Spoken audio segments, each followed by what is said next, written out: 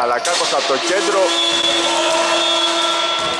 Έχουμε λήξει το πρώτο δεκαλέπτου, βρήκε την λάμπα εκεί.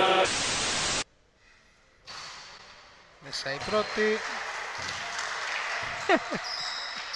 το μαμαλάκι. Ολοκληρωθεί το πρώτο μήχρονο. Χάτσε Αντωνιάδης δεν την περίμενε. Με τον ε, ρέφερη για την φάση προηγουμένως. Δίνει βοήθειες εκεί.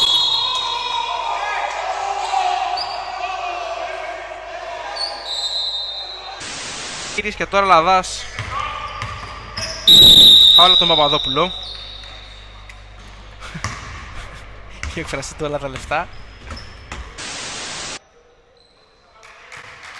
Μέσα η πρώτη βολή του Αγνόγλου. Ο Μπέσης του δίνει την μπάλα και του λέει δείξε άλλη μία. Τρέιλερς τώρα.